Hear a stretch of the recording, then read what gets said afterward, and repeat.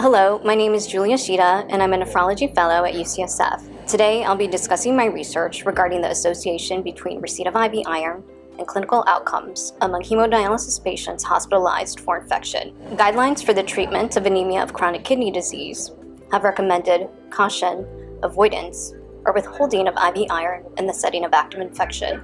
However, these recommendations are based on limited data, and no data specifically supports the recommendation to withhold IV iron in the setting of active infection.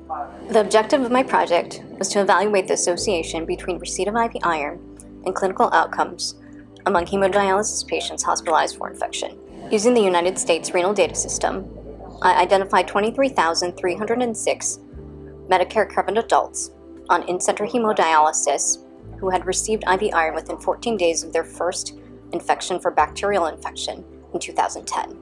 I evaluated the association between receipt of IV iron at any point between admission and discharge on all cause mortality, 30 days after admission, or 2010, length of stay, and readmission for infection within 30 days of discharge. Approximately 11% of the cohort had received IV iron at any point between admission and discharge, and 93% received their only dose on the day of admission.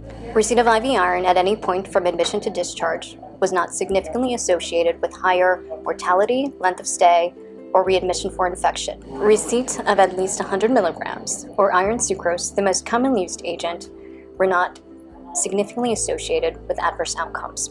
While we are not able to make a statement regarding the continued use of IV iron during a hospitalization for infection, our data do not support the practice of withholding IV iron upon admission for infection in hemodialysis patients.